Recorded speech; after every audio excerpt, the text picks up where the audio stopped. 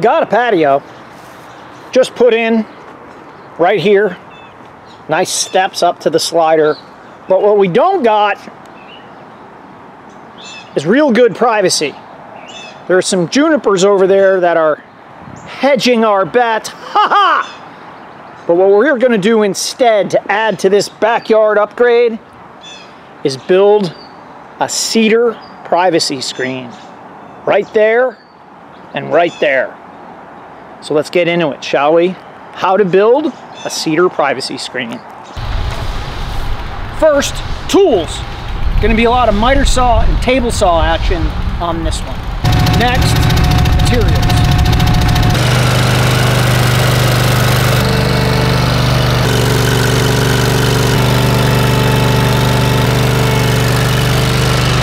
Step one, layout. Mason's line.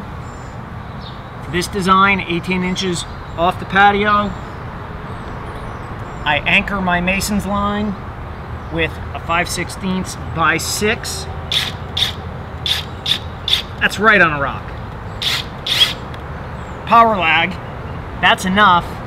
And then to cinch it tight, I use the old trucker's hitch. Tight, but not too tight. Ready to drill some holes now. I'm using the perimeter of the patio pavers itself as a layout mark. I've got my distances between posts measured. I'm 18 from here to here. There's no right or wrong, this is just what's happening here. We're gonna do river rock in here as a buffer between the two materials. And I'm using the old caution tape screw hole marking trick.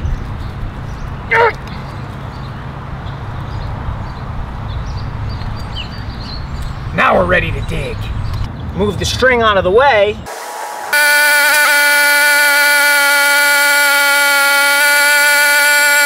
Next, post protectors. Also, to lengthen the service life of these cedar posts, I want the end grain of them to stay as dry as possible, as long as possible. So whether or not the ground drains around it, the homeowner had some river rock here, so I stole some. I'm gonna throw a few pieces in there, so that way, if water comes down the post, and it will, and gets into the post protector, it'll never just be sitting there anaerobically in the bottom of the sleeve. It'll be up, water has someplace to go, posts last longer. Here we go.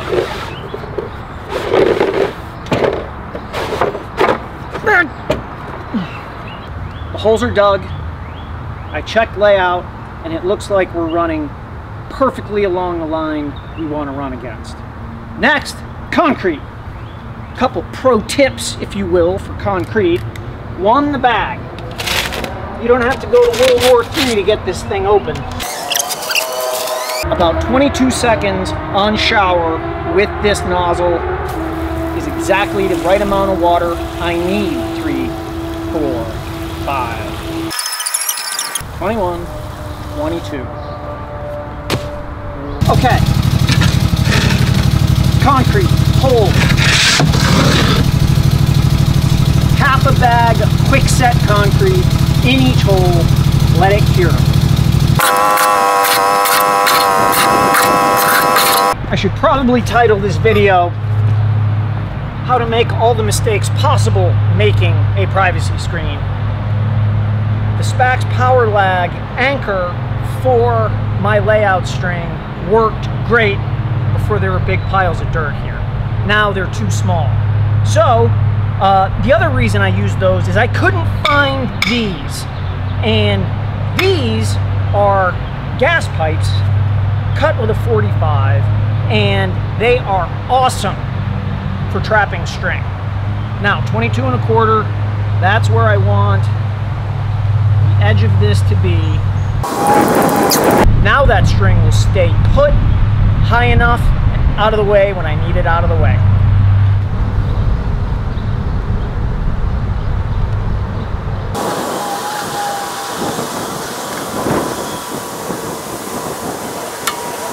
Now that's a layout line. Woo! Set posts.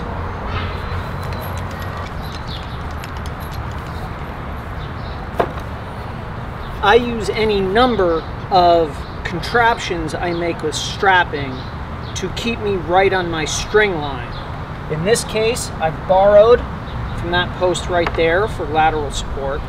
And because we're transitioning here, I've laid out a corner brace that I took power lags and I just screwed them right into the ground. That is dead money on my string and it will help me support this as I get the level that's four miles away over there, bring it over here, plumb this up, lock her down.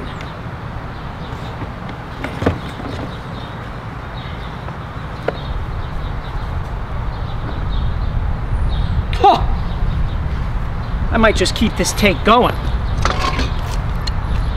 That's close, baby, close.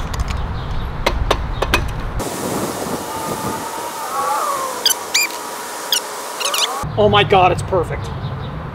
Maybe my day will end a little better than it started. My truck is fixed, and I didn't get hurt, so I'm pretty happy. Yeah! So I'm taking a bit of a different approach on how I detail the post bases down in the hole.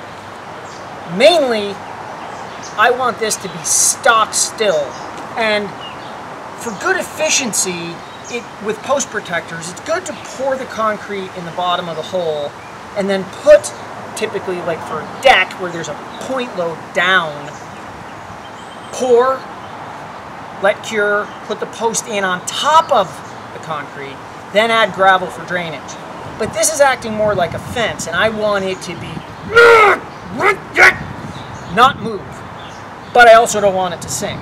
So I poured half a bag of concrete in the hole then I'm going to pour half a bag of gravel in this hole, like so. And then I'm going to mix another half bag to act as a mooring on top of my drainage. Confusing enough? Clear as mud? I think so.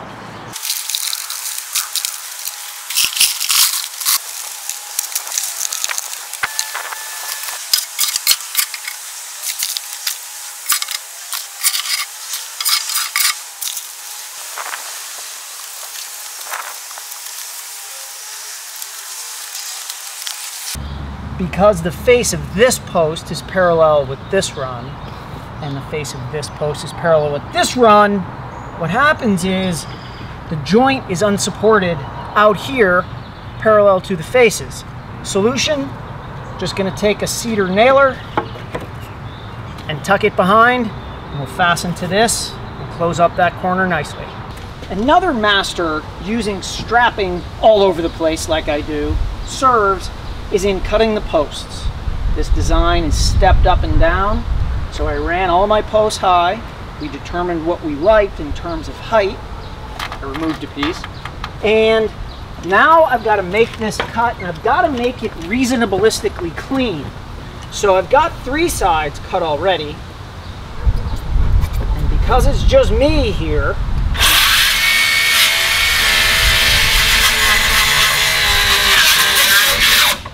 I need all the help I can get. Strapinga! We tried a couple of different spacings, and what turned out to look the best and the most proportionally relevant and purposeful for our one buys, these are two, two, five and a half wide. What turned out to look the best, let the most light in, but do the most privacy making, it's just a piece of strapping. 9 16th stuff, buddy. All right, it's good to have a block at each post. And the reason is, uh, maybe you get a little warpy in there and you got to get it out. That's what I see here. I can fix it. Here we go. Keeping it right on track. Prior to installing the last board, measure and mark for your post tops, which are right here. I just took a piece of strapping and a scrap, marked it. Now I'm gonna cut the 4x4 right here in place. I already have one kerf on the back. I just have to finish up. Ah!